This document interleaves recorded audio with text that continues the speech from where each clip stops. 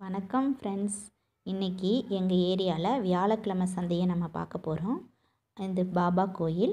கோயிலுக்கு பின்னாடி தான் சந்தை நடந்துகிட்ருக்கு நம்ம பாபாவை தரிசனம் பண்ணிவிட்டு சந்தைக்கு போகலாம். வாங்க.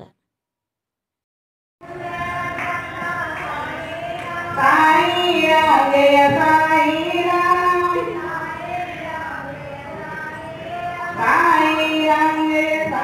சந்தையாக இருந்தாலும் நமக்கு தேவையான பூ காய் பழம் இவை எல்லாமே ஃப்ரெஷ்ஷாக கிடைக்கும்.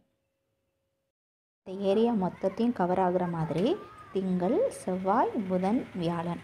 இந்த நாலு நாளும் நாலு விதமான லொக்கேஷனில் இந்த சந்தை நடத்துகிறாங்க இங்கே தக்காளி வெண்டைக்காய் கேப்சிகம் சேப்பக்கிழங்கு எல்லாம் நல்லா ஃப்ரெஷ்ஷாக இருக்குது இப்போ நம்மளே ஒரு கூடை எடுத்துகிட்டு அதில் நல்லதாக பார்த்து எடுத்து கொடுத்தா அதை வெயிட் போட்டு வாங்கிக்கலாம். விடையுமே நூறு கிராம்.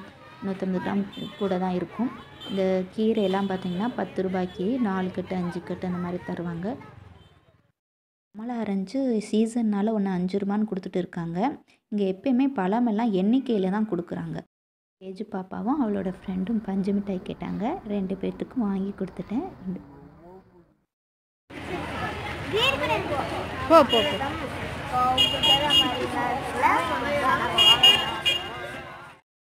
இங்கே இருக்கிற பிளாஸ்டிக்ஸ் எல்லாம் பத்து ரூபாய் இல்லை இருபது ரூபாய் ஐட்டம் அந்த மாதிரி சின்ன சின்ன பாக்ஸு டப்பா கீ செயின்ஸ் இதெல்லாம் இங்கே வச்சுருக்குறாங்க. அதில் எல்லாம் சீசனில் வந்து ஒரு டஜன் எண்பது ரூபா டஜன் நூறுரூபா பெருசுனா அந்த மாதிரி கொடுப்பாங்க. எல்லாமே இங்கே டஜனில் தான் கொடுப்பாங்க டஜன் கணக்கில். இது லெமன் வந்து ஒரு பிளேட்டு டென் ருபீஸ்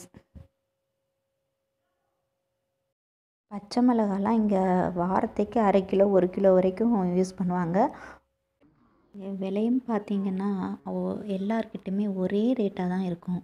அவங்கக்கிட்ட கூட குறை அந்த மாதிரி இருக்காது. ஒரே சந்தை ஃபுல்லாக எங்கே வாங்கினாலும் ஒரே ரேட்டாக தான் இருக்கும் ஃபிக்ஸட் ரேட்டு அதனால் நம்ம ஐயோ அங்கே வாங்கிட்டோமே அப்படின்ட்டுலாம் ஏமாந்துட்டோம் அப்படின்ட்டு இல்லாமல் ஒரு சந்தோஷமாக நம்ம வாங்கிட்டு வரலாம்.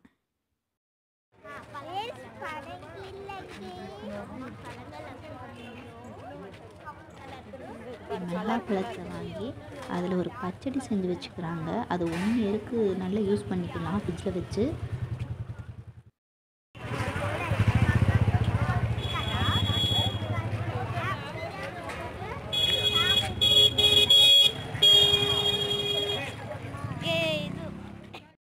பாருங்கள் இது அத்திப்பழம். அத்திப்பழம் நம்ம ட்ரை ஃப்ரூட்ஸாக வாங்குவோம் இல்லையா? இது இங்கே வந்து ஃப்ரெஷ் பழமாகவே கிடைக்கும். அரை கிலோ நாற்பது ரூபா தான் சொல்கிறாங்க நம்ம சின்ன வயசில் சாப்பிட்ட இழந்த பழத்தை பாருங்கள்